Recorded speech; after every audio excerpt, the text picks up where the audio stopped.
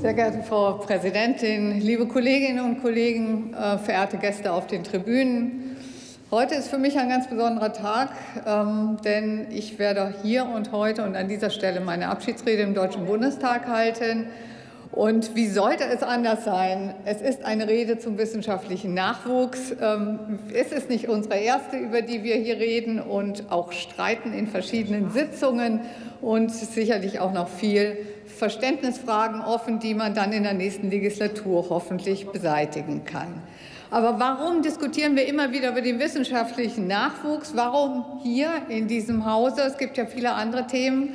Aber eigentlich liegt es ja auf der Hand. Denn wir wissen ganz genau, ähm, die bestmögliche Forschung, die bestmögliche Lehre in der Zukunft ist davon abhängig, ob es uns gelingt, dem heutigen wissenschaftlichen Nachwuchs so gute Rahmenbedingungen zu geben, dass wir sie halten können hier bei uns oder dass wir sie international anwerben können. Beide Möglichkeiten müssen gegeben sein.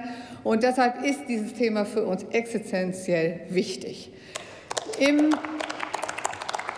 Bundesbericht Wissenschaftlicher Nachwuchs 2017, auf den ich hier gar nicht so wahnsinnig eingehen möchte, denn viele haben schon gesagt, die Daten sind es gibt welche von 2014, Simone Ratz ist richtig, aber die meisten sind älter. Die meisten kommen im Schnitt aus 2008 bis hin zu 2006. Und da dann 2017 irgendwelche Thesen daraus zu formulieren, finde ich schlichtweg falsch. Aber wir sehen natürlich sehr wohl, wenn wir das abgleichen mit anderen Erkenntnissen, die wir haben, dass wir jede Menge, wir haben auch positive Dinge, die wir sehen können, aber wir sehen natürlich auch eine ganze Menge Schatten an dieser ganzen Geschichte. Wie kommen wir weiter? Ich bin davon überzeugt, dass wir endlich mehr Informationen brauchen. Das hat die Bundesministerin auch schon gesagt.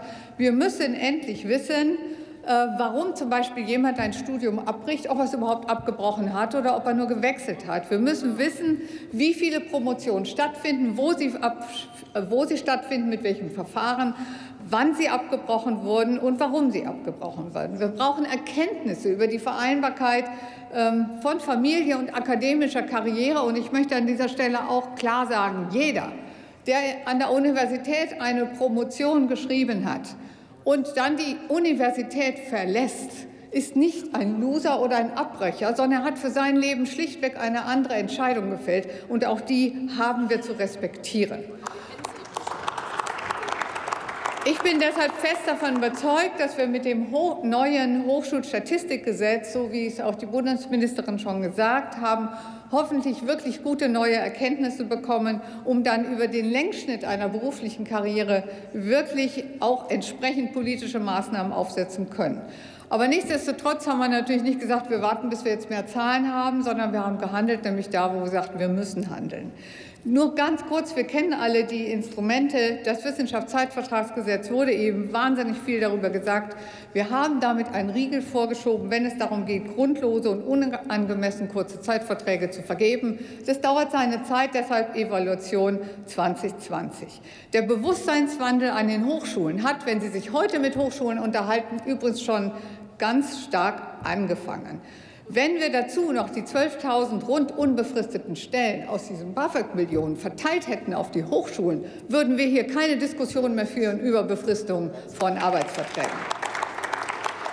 Wir haben mit Hilfe des neuen Tenure-Track-Programms einen Karriereweg zur Universitätsprofessur planbarer gemacht und wir haben mit den erweiterten Kooperationsmöglichkeiten auf der Grundlage des neuen, des veränderten 91b eine neue Exzellenzstrategie auf den Weg gebracht. Und warum ist das wichtig für den wissenschaftlichen Nachwuchs? Ganz einfach. Für den Spitzennachwuchs gibt es fantastische Perspektiven über die neue Exzellenzstrategie.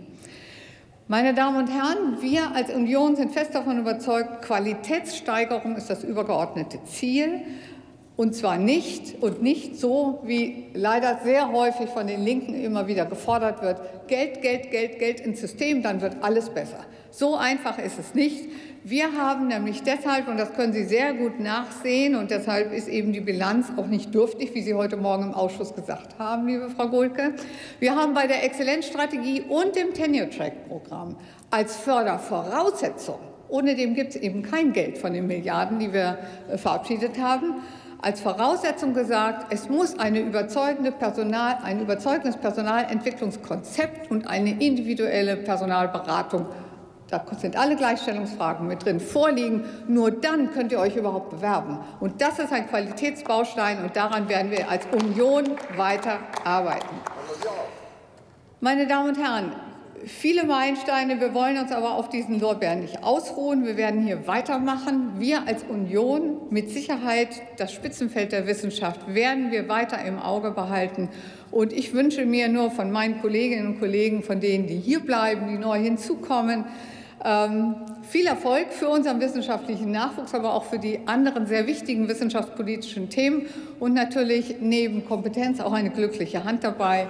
Ich bedanke mich für das tolle Miteinander bei allen Kolleginnen und Kollegen und sage einfach Tschüss.